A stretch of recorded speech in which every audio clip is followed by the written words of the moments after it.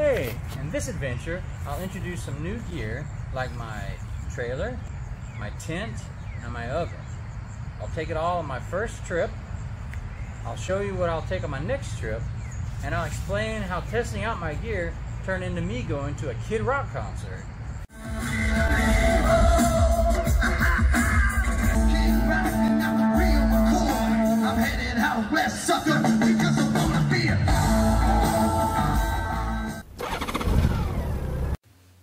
First, I'd like to introduce you to my new trailer.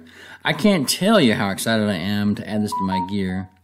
But before I start using it, I wanted to make some modifications. For safety, I wanted to change these reflectors to LED marker lights and change the ball coupler to a Heim joint. I saw someone use a tractor top link and I tried it, but the link isn't compatible with the Bushtec pin. And I really wanted to use that locking mechanism uh, so I purchased uh, the system from Compact Camp Trailers, uh, but they were sold out. Thankfully, Jeffrey in the Motorcycle Trailer Towing and Touring group on Facebook, he was selling one. Thanks, Jeffrey. Uh, but this wouldn't fit either. So I had to grind the top link to fit the Bushtec pin. Uh, speaking of Bushtec, I also use their six-way connector. And this doesn't match the trailer's flat four-way connector, so I had to modify some wiring. I used four diodes to convert the 5-way to 4, and I added accessory power so I can charge a, a battery going down the road. Uh, more mods for that in the future. I brought the aux wiring into the trailer with the marker lights under the bumper and the rear of the trailer. I thought this would be less noticeable and less likely to leak. These automotive style connectors though, they, they can't handle the movements of a trailer. So I'll be changing them. I'll have future videos for those mods. If I've been just fine touring and camping on my motorcycle, why a trailer? Well, I want to bring more comfort and I want to be able to work while camping. So this brings us to my new tent. So something I'm very excited uh, that I own, uh, excited to show you, and there's lots of videos of these out there uh, on YouTube. Uh, I can't wait, ah, I gotta show you. So I now have, I'm now a proud owner of a 10 by 14 Kodiak canvas tent. I've wanted a canvas tent since I was a youth in the Boy Scouts. It was always cost or weight that stopped me. Uh, with my work bonus, I got this tent and trailer for some grand adventures. Now, the trailer allows for heavy, bulky items, uh, and this 80 pound tent is certainly that. Now, I do have some other gear I haven't used with motorcycle camping before, and I have some new stuff. From Coleman, I ordered a camp oven and a collapsible water jug. My first attempt at cooking in the oven was a pizza. It turned out okay. I didn't get the temperature quite high enough. Uh, the next morning, I made orange rolls and moved the oven uh, to the to the burner closest to the propane. I was able to get the temperature plenty high. Actually, I left it too high for too long, but only the bottoms were burnt.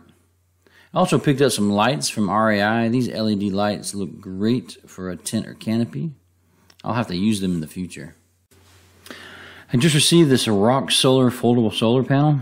I'll have a separate unboxing video. For now, let me tell you, I'm very excited about this addition. It will allow me to camp more places, but still be able to work and edit videos.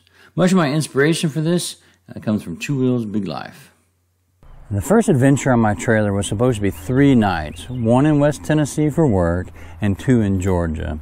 I set it up so I work two half days so I could do my doctor visit and get some camping done as well as working remotely. It was the first time I was working from my tent.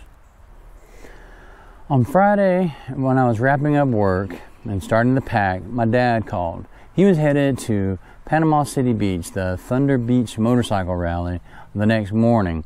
The guy he was going with was backing out, so he asked if I wanted to come along. So I loaded up my trailer, uh, visited a friend for lunch, and then off to Meridian, Mississippi, and then down to Panama City Beach the next morning. Not the most direct route. All total, the first trip with my trailer was about 2,000 miles. Not bad for a first test. This gets me to Panama City Beach, uh, but the Kid Rock concert Dad wanted to go to was sold out. There were still three day passes, but they were $180, and he and I both thought that was a bit much for a concert. So there I joined the rally, and like I said, Kid Rock concerts were tickets, the ones remaining, were a little too expensive. Uh, so it came time for the concert, and what we did was uh, my dad just walked in, um, just walked right in. As soon as the gates opened, just walked right in. He he has uh, he has luck like that. He's blessed in that way. Uh, I tried to do the same thing, and I don't know if the, the big beard stood out or they noticed me or, or what it was, but they stopped me and asked for my for my armband, which I didn't have. They're like, "Do you have a band?" I'm like, uh, "No," and so they, they sent me away. Uh, so after that, we enjoyed around a little more. We went and got some some supper. We came back. We're gonna try to park our bikes where we could see uh, see the show at least a little bit. Um, then we decided we couldn't find a good parking spot for that, so we walked up to the fence where we could kind of see between some trucks. Uh, it wasn't a great spot, but we could see and you could hear from anywhere. And there was a couple standing there at the fence already. We talked to them a little bit. He said in years past he jumped the fence, but she wouldn't do it, so he was going to stay there with her. So we talked to them a little bit, kind of waiting on the show, and then we noticed there was a, a lady inside the fence, and uh, she had some pallets set up on one of those tailgate lifts, and uh, she was sitting up there, and we started talking to her, and I'm like, "Hey, throw a rope down. It's a pretty good seat there." Uh, next thing we know, she lowers the, the ramp down, walks over to her vehicle, comes back and says, I have some employees that didn't show up. Uh, I hate for these passes to go to waste. Know, watching the, the concert through the fence is, is no way to watch it. So she handed us uh, passes. And uh, that was quite something. My dad was, was very moved uh, by this generosity. I'm not a fan of uh, how much of the language Kid Rock uses, but he knows his audience and he's a good entertainer. So put on a great show. It was a bit of a political rally and everybody had a great time. So until my next adventure, this is Redbeard. See you on the road.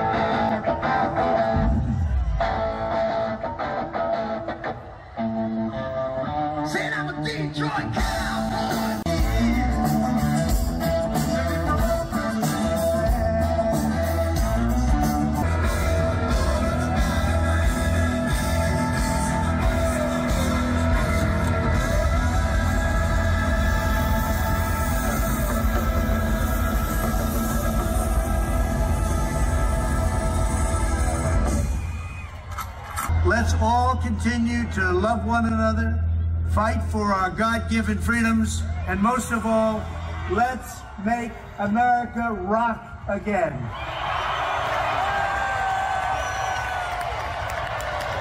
Have a wonderful time tonight. God bless you, and God bless America.